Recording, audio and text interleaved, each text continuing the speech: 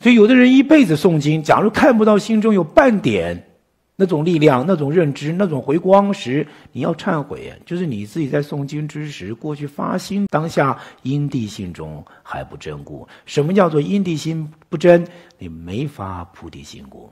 什么叫没发菩提心？有的时候说菩提心，大家就会觉得太抽象了。菩提心在哪里？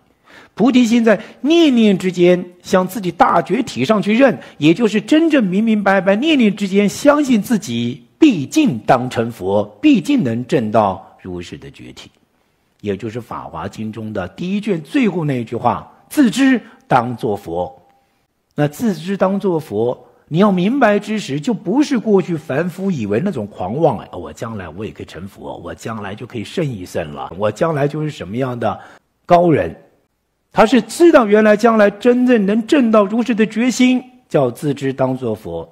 假如你真正明白能够证到自己的根本清明觉体，那请问你在潜在意识里面，你突然有一念认为说我是什么高人，我得到什么秘籍？你当下就在这个高人跟秘籍这一念现前时，你还知道谁觉得这一念佛？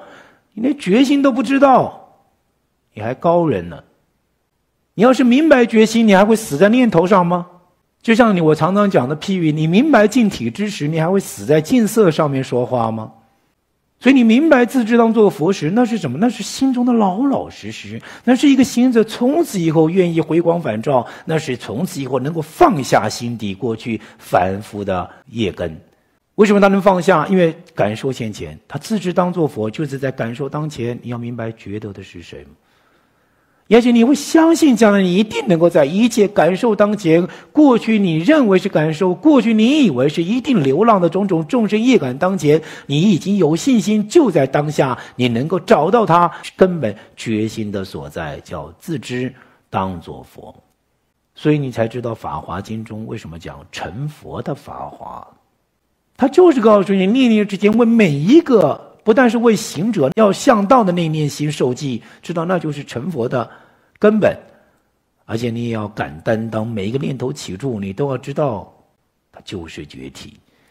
你在每一个念头起处知道是觉体，就类似在每一个净色现前，你都知道原来是净体。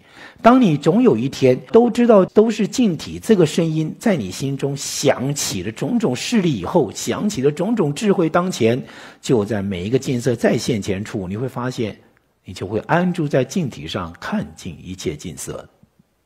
那个叫做有如是大势力啊，就会有如是根本心中的根本八基。